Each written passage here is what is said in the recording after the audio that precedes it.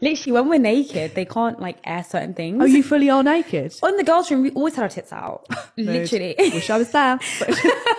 we always did. So, like, whenever someone wanted to say something cheeky, we would just be sitting there, like, talking with our tits out because we know they can't air it. show it. They can't That's show it if our tits are out.